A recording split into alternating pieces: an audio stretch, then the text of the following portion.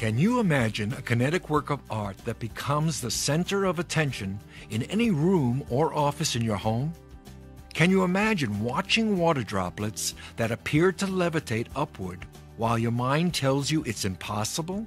Can you imagine placing a glass under the water and watching the water fill the glass? But at the same time, the droplets appear to levitate out of the glass.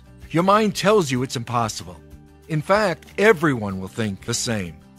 You cannot defy gravity, but this kinetic work of art seems to be doing just that. With levitating waters, not only can you control the levitation and speed of the water droplets, you can also suspend them in midair, or create a mesmerizing effect of droplets flowing slowly downward, barely moving. Or if you prefer, switch to demo mode and let levitating waters entertain you. It is unbelievable.